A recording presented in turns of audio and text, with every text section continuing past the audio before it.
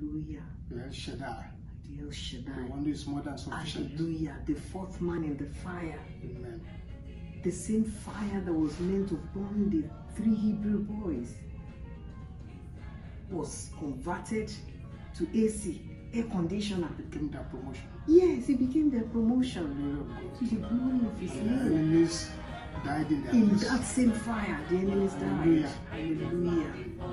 And the lion's den that was prepared for Daniel to consume him and, and end his life, end his ministry, end everything, end his testimony.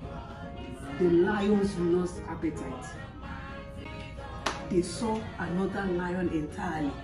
The Lion of Judah. Lion. In Daniel, the ah, we can't eat this lion. Lions can't eat lions. Lions, yeah, lions can't eat lions.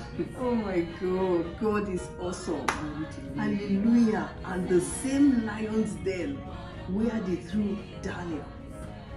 God saved Daniel.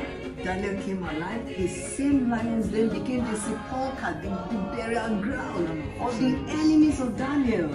Hallelujah. God is wonderful. Hallelujah. Father, we thank you.